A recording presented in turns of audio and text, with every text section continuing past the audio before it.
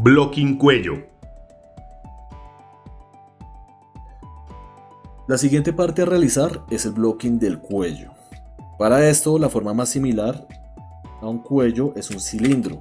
Entonces creamos una geometría de cilindro y la manipulamos de forma que encaje perfectamente en la referencia que tenemos ubicada. Pues más o menos este es el ancho, es un poco más ancho en la base que en la parte superior, no importa. Lo que me interesa ahorita es ubicar la forma base. Ya el resto lo puedo hacer al momento de manipular la geometría mediante escultura. Entonces vista lateral, cambio de posición un poco más atrás, y ya puedo entrar a manipularla en escultura, pero esta geometría tiene un pequeño inconveniente y es que su densidad de geometría no es la misma que la densidad de la cabeza. A mí me gusta que la densidad se mantenga entre todas las piezas para poder tener un, pase de detalle inicial relativamente homogéneo. Y así tengo un blocking que me permite eso desde el principio. Entonces voy a aplicar las transformaciones para volver a llevar los valores a, cero. Control voy al modo de escultura.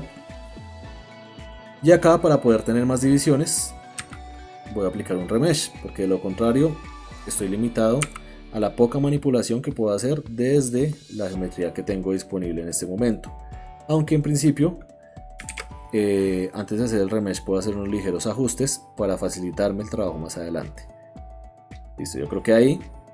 Y empezamos a probar el remesh. Actualmente está con un valor de 0.1, probemos.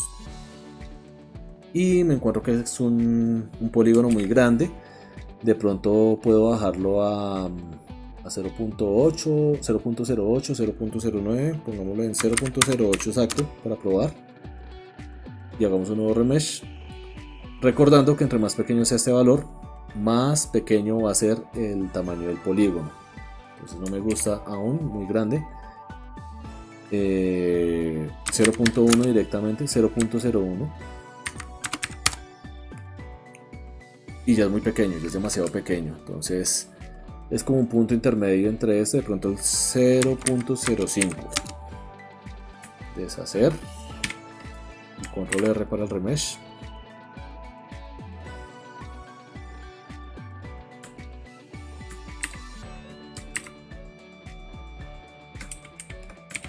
Otra vez 0.03. 0.03. 0.02 más o menos ese valor me gusta. Creo que funciona por ahora. Voy a desactivar esta geometría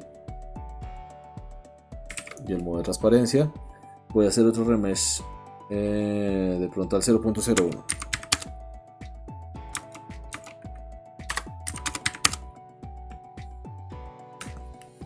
con las normales suavizadas y Listo, ahora sí empezar a dar forma a este elemento. Entonces acá tenemos que dar la unión que hay entre el cráneo y el cuello. Más o menos es algo así. Y aquí una ligera curva que se nos marca en esta zona. Sobre todo en este personaje que es algo más estilizado. Es más proyectado hacia atrás de pronto desde la vista posterior. Puedo jugar también a cambiar un poco esos, estos valores. Desactivo un momento la, la referencia. Y voy a utilizar una brocha de Dow para marcar más o menos de forma incipiente lo que correspondería al esternocleidomastoideo, es uno de los músculos más importantes del cuello, más prominentes desde, desde cualquier visualización que se le dé. Más o menos esta sería la ubicación. Un poquito del draw sharp para marcar aquí la, la unión en la parte inferior. Suavizamos.